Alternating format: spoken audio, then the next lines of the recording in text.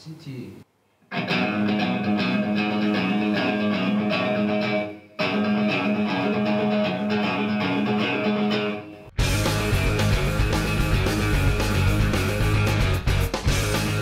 전에 찍었을 때 정규 앨범 나오기 전이었을 거예요. 이거 딱 봤냐고.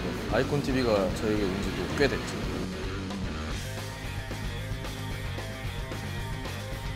기본적으로 저희 컨셉이 다큐멘터리나 SF 같은 색깔을 가진 락 밴드이기 때문에 자연물을 통한 시간이 사용하는 것을 하고 싶었고 뮤직비디오 다섯 편을 제작을 했었고 저예산으로 진행했었어요. 짧은 시간 안에 해- 해볼 수 있는 거 다 해보자. 하룻밤 만에 찍은 것도 있었고요.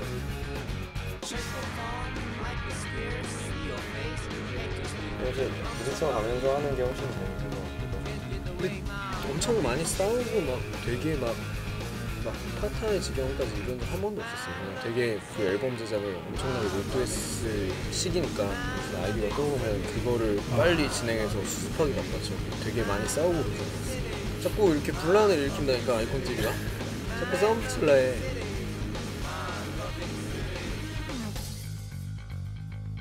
저희가 총 7개 도시 돌고 있는데요. 여기는 네 번째 도시 부산입니다. 여기 뒤에 보시면 저희 고향마다 선생님들이 여기다가 롤링페이퍼를 작성해 주시고 술 한잔 꼭 다음엔 세계 투어. 어, 도시 되게 잘 선후배로 만나요.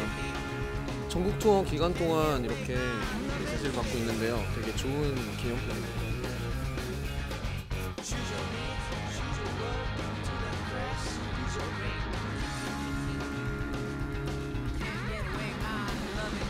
장기하 얼굴들 하세가와 요헤이 형님이 저희 사운드 프로듀싱을 도와주셨고 최선의 노력을 다해서 좋은 앨범을 만들려고 노력을 했고 그 결과물이 나온 것 같습니다. 꼭 들어주세요. 좋은 스피커로.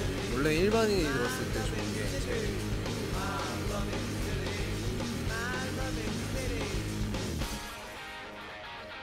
그 상상마당 2회 공연은 저희가 그 단독 공연 규모 규모로 공연한 것 중에 가장 가장 큰 규모의 공연이에요. 지금껏 지금까지 중에 아 다시 해야겠다.